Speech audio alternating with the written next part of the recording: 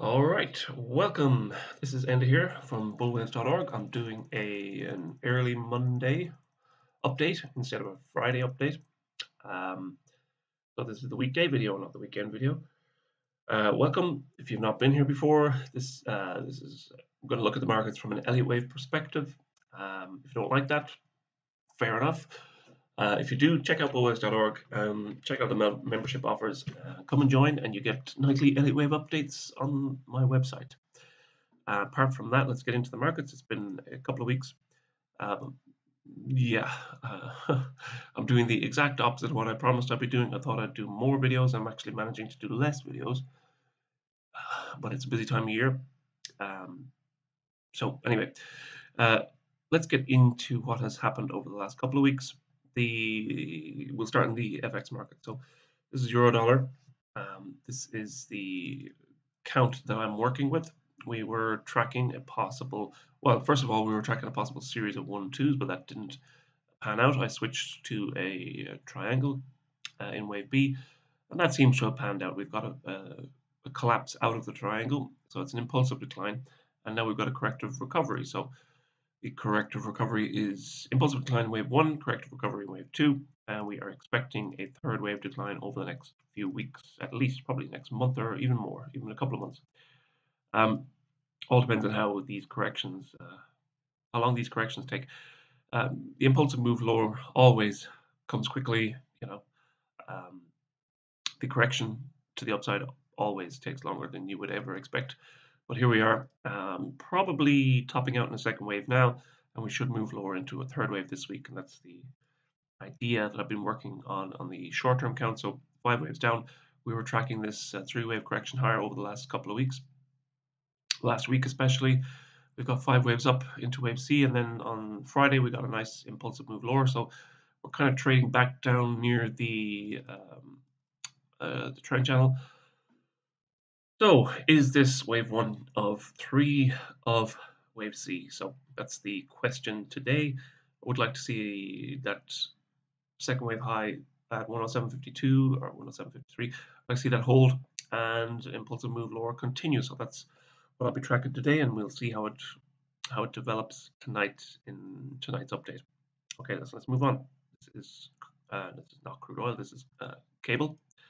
Um, initially I was working with uh, one, two, and this is wave three, but uh, the correction came high enough to suggest that we were actually in another impulse. Or sorry, we were, we were tracing out another impulse wave here. So we've got a one-two pattern. We've got a one-two followed by a one-two. So we can still, I could probably view this a little bit differently as well. Um, I'm not going to go into that right now, but uh, there is another way of viewing this where we could say that wave three, sorry, we could say that wave, uh, this would be wave three of three, but yeah, I kind of don't favor that right now. On the short-term count, you can see why. We've got this rally off the low here. I'm looking at a three-wave rally higher. We'll see how that goes, but we've got five waves up into a possible wave A. We've got an expanded flat correction wave B. Uh, on Friday, I was looking at looking at a possibility of a lower wave B, but I don't think that's going to happen now. And it looks like we could be tracing out five waves up here in wave C already. So as long as wave B holds here at 124.48, 124.50, um, we should top out in wave C, well, above 62% retracement. I'm looking at 78.6 retracement now, but what's that, 126.20? But above 62% retracement at 125.50. So we came close to that today. Uh, so far, we're kind of backing off that this morning. Uh, we don't even need a major rally in wave C. I mean, we've got five waves almost complete up in wave C already. Uh, we'll see how it goes today. If we top and reverse, especially if we break uh, 124.50 again, um, that will indicate that uh, wave 2 is probably done already and we're moving down into wave three. But next move, once we complete wave two, it'll be wave one of uh, three to the downside. So we should retrace most of this correction higher uh, once wave one gets underway. Go back down towards 123 again in wave one. So we'll see how that goes. Okay, dollar yen, uh, we had a pretty sharp reversal on Friday evening. So Um, I've kind of updated the count today um, to take that into account. So there was a couple of things that happened last week. There was this uh, massive rally which suggested we were in a third of a third of a third acceleration, and then we had this massive um, kind of collapse out of that rally, which suggested that we uh, were actually completed wave three. So um, I think we may have wave three in green already done now. I mean, things are progressing quite quickly here. Um, dollar yen kind of tends to do that now and again. You can see how these um, collapses happen so quickly. You know, we have these the collapse into wave four happened really quickly, really, very punchy moves lower, and then massive retracements. So don't be surprised we get a massive retracement today. Um, at the moment, I'm looking at a possible, you know, wave three of five. No, I should go out a bit. Uh, no, I should go to the four hour. Yeah.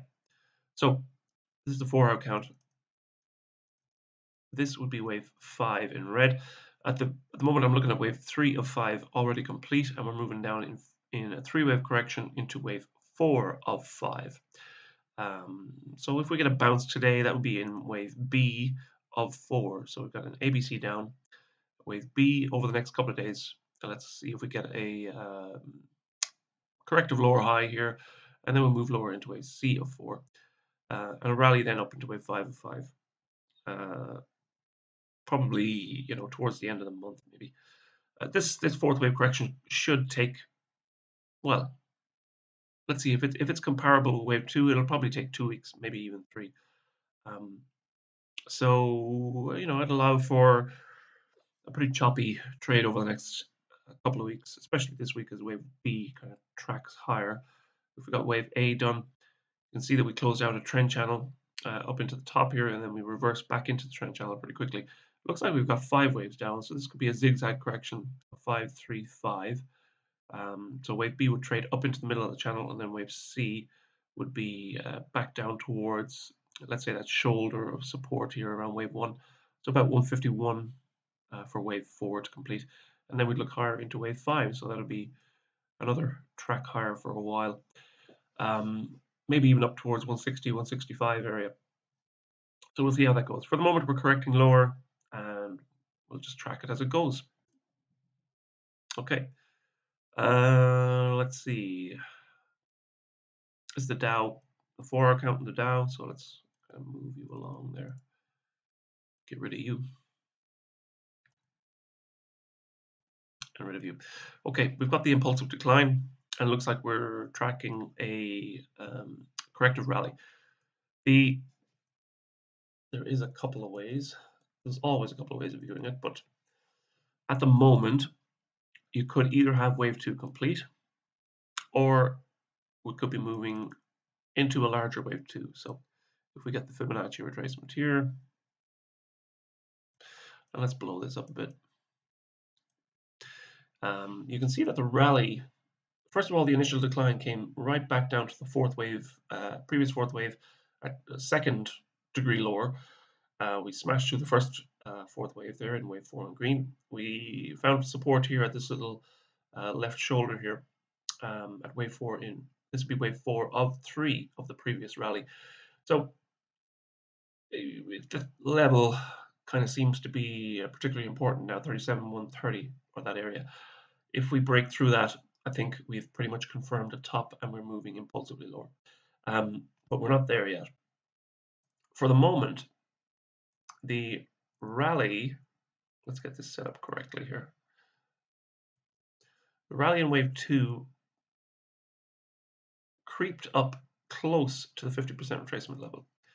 So far, this bounce, the initial bounce off the low, uh, we just tucked in below the 50% retracement line. So there is enough there, there's enough of retracement there to suggest that wave two is done.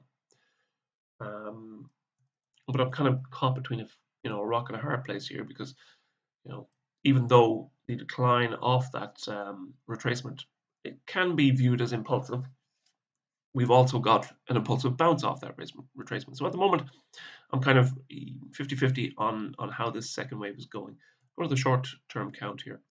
I can still allow for one more decline in wave one. I can allow for a second wave completed or I can allow for a second wave still underway. So it's we're still, you know, we're caught between um, this conjunction of of patterns here, um, and I don't know where to hang my hat right now at this point in time. So we'll see how today goes. If we trade lower, if we start to take out this uh, wave one low, then I might favor, you know, initially we'll probably get rid of this uh, alternate account here for a larger wave two, but I still don't know whether it's wave five of one or if this is wave one of three, of a larger wave three down. Um, and we may not know that until maybe midweek this week. Uh, if we break above this uh, 38, let's say 38,600 level, um, that will suggest that we're into a larger wave two. I'm pretty comfortable with that. Um, and we would postpone, we'd look for three waves up in wave two, and we'd postpone the decline into wave three um, probably towards next week again. Or maybe the, maybe even the end of this week. It, it really depends on how how quickly we decide which pattern is um, the correct pattern here. And that is the rock and the hard place that we're between right now. So uh, the market needs to decide where it's going to go here. We're kind of in limbo at the moment. We're hanging between three viable counts here.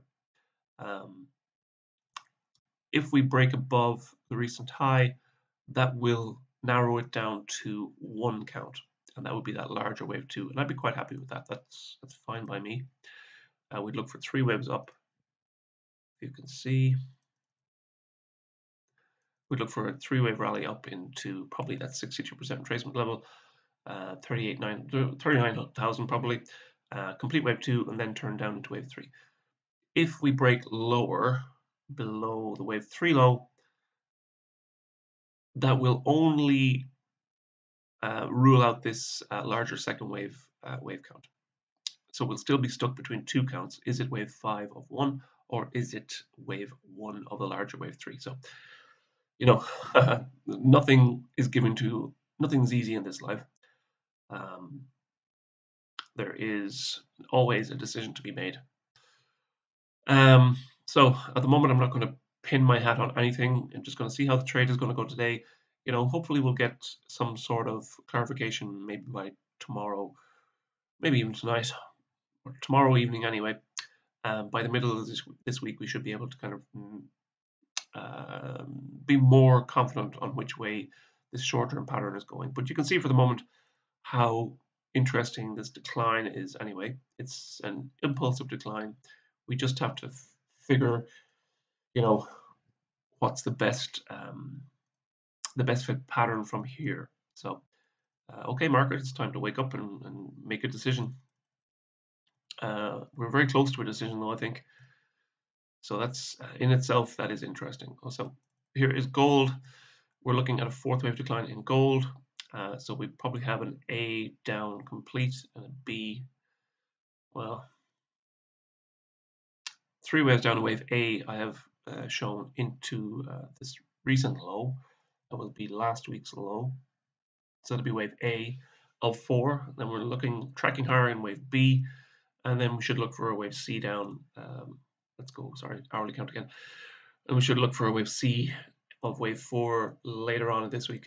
The only, like, you know, you could still view wave B underway, even if we broke to a new high here or a new lower high, because the the actual form of this correction is not, you know, nothing is ideal at the moment.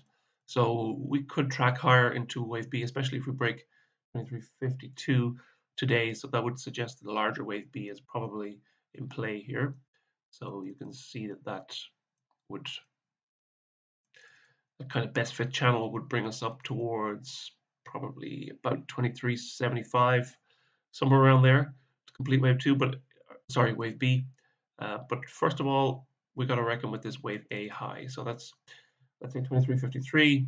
Uh, if we break that, then we're looking at a larger wave B, and then we would postpone this C wave decline until you know later on in the week anyway. Um, but maybe tonight we should be able to uh, we should be able to decide. I'd say by tonight, if all goes well here, we should be able to decide by tonight which way uh, wave B is going and which way, how long we'll have to wait for wave C. Okay, let's move on. Crude oil, um, kind of so far so good, I think, in crude oil. Uh, we have an impulsive decline or a series of impulsive declines and a mostly corrective looking rally last week. So at the moment, we could be looking at a 1 2 1 2 pattern. Um, we have at least you know an impulsive looking decline off that um, off that uh, second wave high. So uh, you know I'm kind of again I'm kind of like stuck between possibilities here. Uh, the market is showing us a high. It's showing us an impulsive possibility to the downside, uh, but we have not followed through yet. So uh, looking for a follow through into a third wave this week that would uh, indicate wave three is underway. And, you know, once we get that follow through, then we'll be able to make some projections uh, lower. Uh, but at the moment, I'd like to see that a 85.64 level hold um, and a decline into wave three uh, coming our way. Okay, the S&P uh, probably going to be forced to kind of uh, cave on this pattern today. Well, it all depends on how the trade goes today. We still have the possibility of a five-wave decline here. Um, the, the major difference here between the Dow and the S&P is this uh, initial decline into wave one. So we've got a possible uh, expanding wedge pattern here. Um, it fits. It's a pretty rare pattern, and I think that's probably why I'm kind of apprehensive here.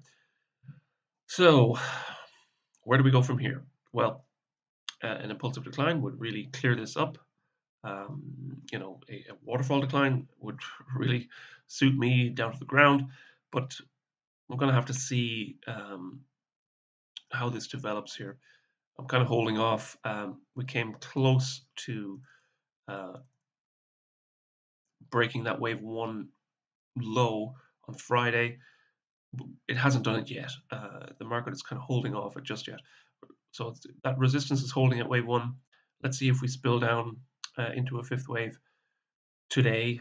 Would be great. Um, if that happens, then uh, we'll be safe enough with this count.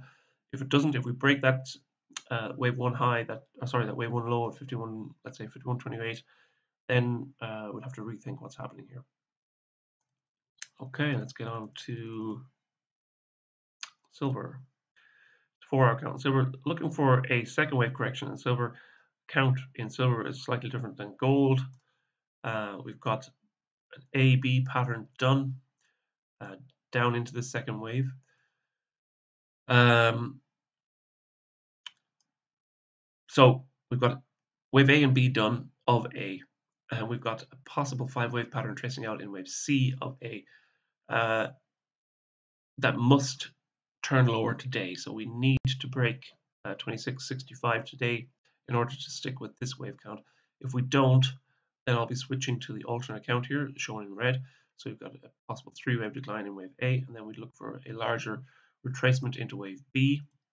Uh, and once that comes about, then we'd look for wave C down. Uh, it's the same, it's the same, it's a different iteration on the same count. Um, so this would still be a, a 335 uh, overall decline into wave two, uh, as you can see here.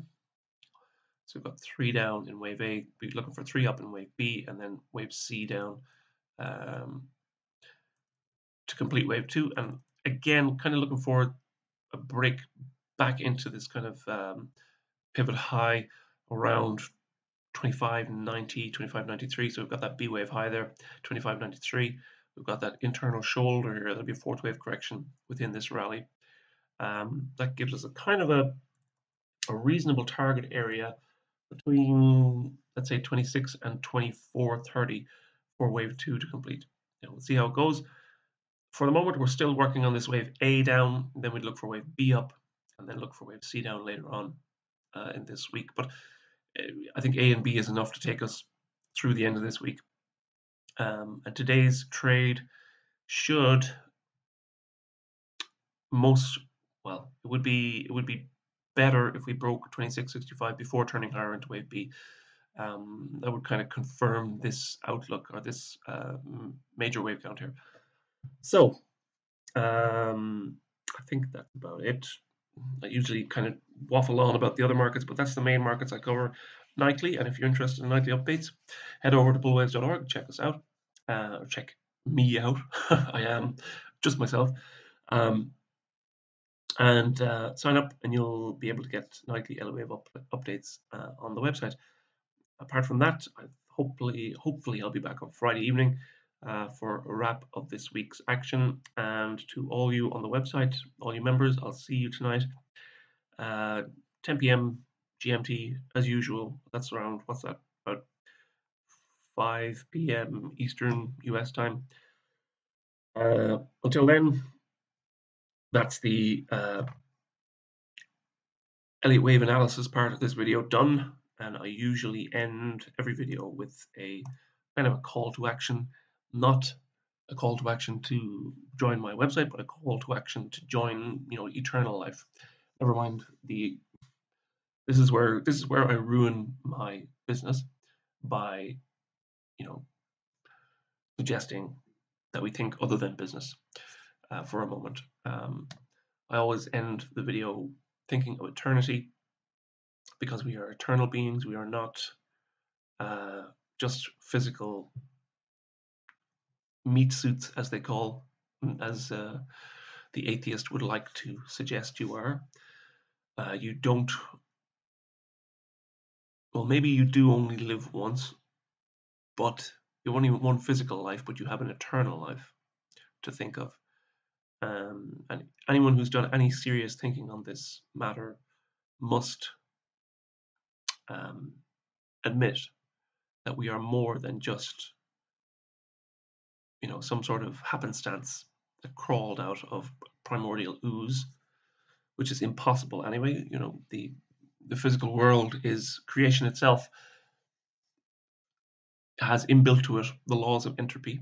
Every single uh, area of science, if you're a scientific person, every area of science uh, adheres to the laws of entropy. That is, that things decay over time. The only, the most evident part of that is biology. The most, most evident area of, sci- of science that should uh, adhere to that rule is biology, but that is the area of science that denies it uh, through, you know, um, Darwinian kind of uh, evolution. There is no way for random processes to produce more complex organisms. It doesn't happen. It goes against the laws of entropy. It cannot happen you start off complex and you go towards decay. That is a law of entropy. And we, our bodies, anyone who's getting older realizes that we go towards decay. But your, your eternal self will not decay, it exists eternally. And the only choice you have to make is where you exist eternally. So you can go back to your creator, you can you can um, accept the gracious work of salvation done by the Savior, by Messiah, Yeshua, Jesus, who paid for our sins on the cross. And you can accept that, and you can go to your Creator, back to your Creator, to exist eternally with Him, or you can die in your sin and try and pay for it eternally yourself, away from God and they those are that's the only choice you know people tend to say that you know that christians are um, exclusive. Or why are you so discriminatory or exclusive of other ways? You know why can't there be other ways to god? Why can't zoroastrianism bring you to god? Why can't islam bring you to god? Why can't buddhism bring you to god? God didn't make, God is not a, a, an author of confusion. God didn't make 6,000 different ways to get to Him. He made one way, He made it easy for us. One way. You either have your sins paid for, or you have your sins on you. So that's the um, that's the equation you have to figure out in your in your life. But you, the problem is you don't know how long your life is going to be. So it's a it's a, a riddle inside of a an unsolvable equation. Figure that one out. A lot of people say, "Oh, I'll think about it on my deathbed." Okay, tell me when your deathbed's going to be, and tell me if you actually do get a deathbed, because lots of people don't. 150,000 people die every day on average, and most of them don't die in a deathbed. So that is what I leave you with. Um, think about what Jesus did for you. And if you feel called, go and ask God. because I'm a I'm a bad I can't explain this correctly. Um, God will, will reveal it to you anyway if you ask in um, earnestly, you know, in truth. So that's that. See you Friday. Bye bye.